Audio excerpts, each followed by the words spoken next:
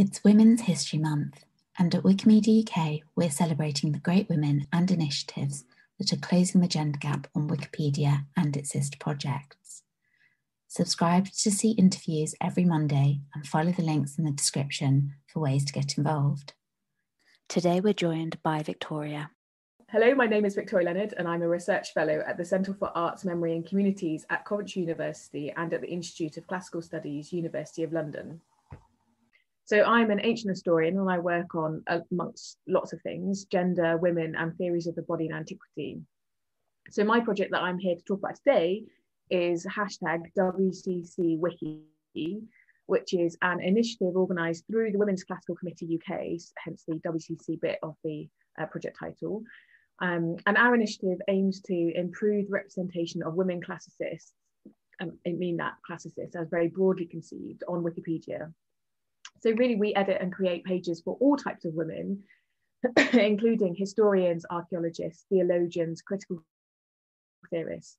So not strictly classicists in that, in that very um, narrow sense.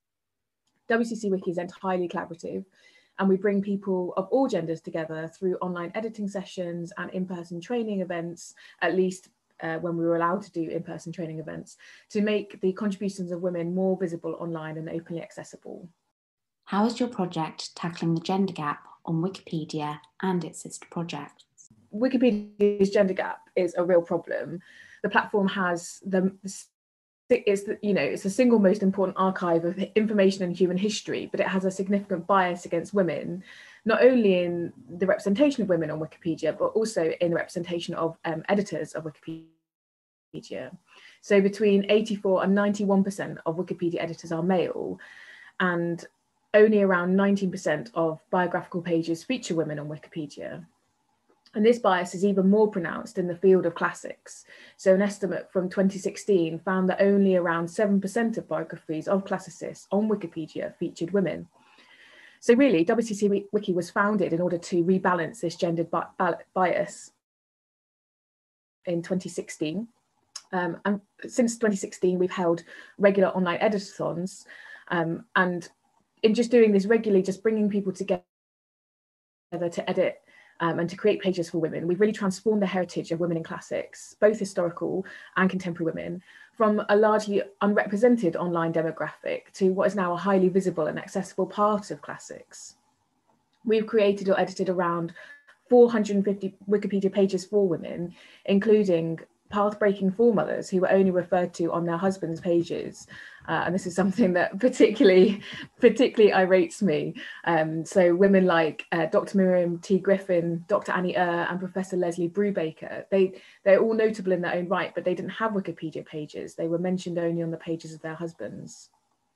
So our pace of change at WCC Wiki means that on average, we edit or create a women's page um, every other day.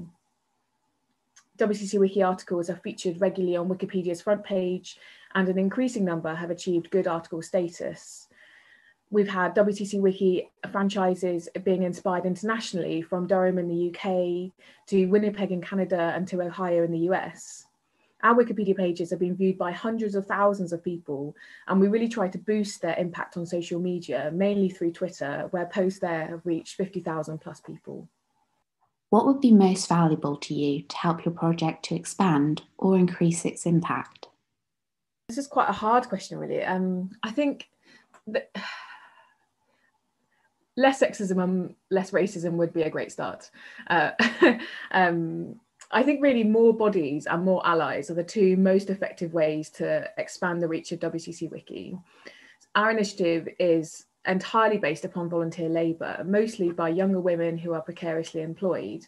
And there's really only so much we can achieve with a limited amount of time from a limited number of people. So we're always looking for more people to join us in editing pages for women. And WCC Wiki doesn't just advantage women, and it's not just the job of women. We do have some fantastic male allies who are a real central part of WCC Wiki, but a more diverse editing population would help us to broaden our content. I think there are some really considerable barriers that prevent people from editing Wikipedia. Um, So, first of all, there are prejudices about Wikipedia. The prejudice that Wikipedia is not a good or reliable source of information, with the attitude that I don't use it, and in academic circles, I don't let my students use it, and it is therefore irrelevant. But as I said, Wikipedia is the largest source of information in the world. And the way that online platforms like Google and Amazon scrape Wikipedia for information means that really, if you use the internet, then you do use Wikipedia. So I think we need people to understand the importance of Wikipedia as well as how it works so that they feel empowered to help to work towards positive change rather than just deciding it's irrelevant. I think we also need people to be aware that gender imbalance is harmful to everyone. And there are lots of things, big and small, that people can do to challenge that imbalance. So I think this feeds into the allies issue that people don't automatically and actively support initiatives like WCC Wiki because they feel irrelevant to them. But being male and offering encouragement and support on Twitter or signal boosting to your own networks could really make a difference to how much impact Wikipedia, WCC Wiki could make. I think another significant barrier that prevents people from participating in WCC Wiki is more practical, just in getting editing um, in the first place. So we hear a lot of responses from people saying they want to get involved, but they don't know really how to get started. So just more basic training uh, and more widely available resources and support as well for those not only to join the editing community, but also to remain within the editing community. Those are really the essential things. What are you most proud of? Again, this is quite a difficult question to uh, to pinpoint. I suppose I'm really most proud overall of the tenacity of the WCC Wiki community that when women's pages are targeted for vandalism or flagged for deletion, our editors put in huge amounts of time and resources not to let these pages be deleted or to let these women be forgotten. So it's not it's not just about creating pages for women or editing pages and making them better. Um, quite often, a lot of a lot of time and effort needs to be put into making these pages stick, and also making making sure that the information on those pages is not removed as well. Um, women generally are held to higher standards than men, and this tendency is really exacerbated on Wikipedia.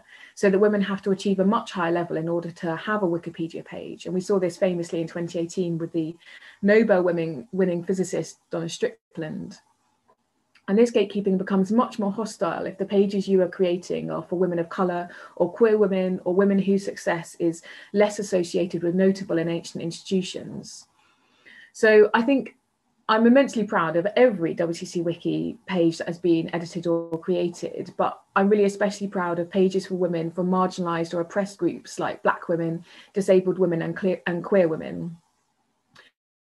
I'm also really proud of our project page on Wikipedia because it's such a fantastic archive for the initiative. It contains so much information about women classicists, especially those in danger of being forgotten, and it's a really important reference point, not only for the existing Wiki, WCC Wiki community, but also for those who want to join the community. Brilliant. Thank you very much. And I will, of course, link to the project page as well in the YouTube. Yeah. yeah.